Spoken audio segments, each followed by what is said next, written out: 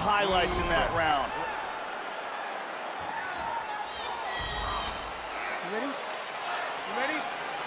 Third round underway. That last round was an all-out brawl. If they continue like that in this round, someone's getting knocked out. Big left hook coming, it's blocked. Well, he hasn't really showed any signs of slowing down tonight. He continues to connect on a high volume of strikes here. Excellent movement here on the ground.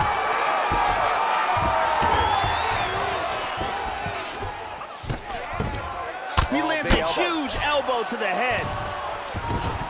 Excellent movement on the ground here, always trying to better his position. Half guard here.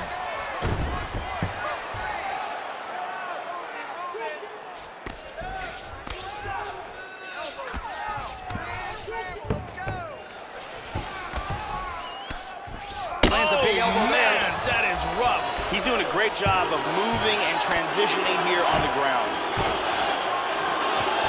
Just over three minutes to go in our third and final round. Full mounts, look at this.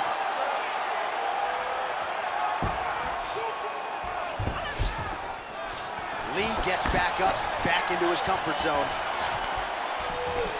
Able to check that kick as well. Oh, look at him snap off the jab. That's pretty to watch. Beautiful employment of the jab here.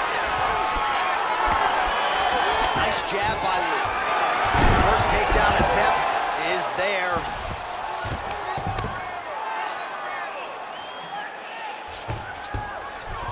I believe he's going to attempt a submission here.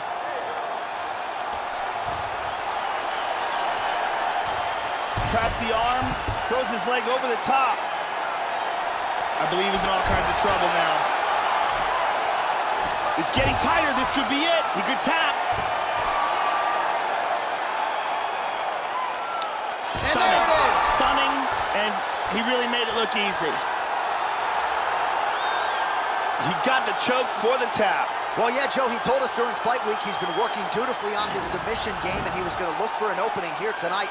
Safe to say he